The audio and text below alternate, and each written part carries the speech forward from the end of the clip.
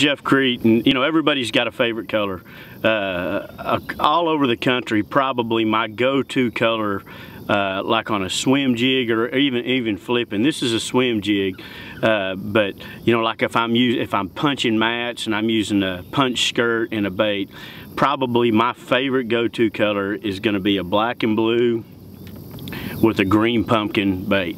Uh, like, like, my favorite punching bait is a, is a black and blue punch skirt with a tilapia magic big bite Yomama. And that is the color that I start with just about everywhere I go flipping. Now I may end up catching them on a totally different color but that is my confidence color and you know, I, mo most people are going to throw like a black and blue skirt with a black and blue bait, and that's good, but for some reason, it's a different look, maybe the contrast, I guess it, it really looks really uh, like a brim, but the, the black and blue with the green pumpkin is uh, probably most of the money I've won flipping have been on that color.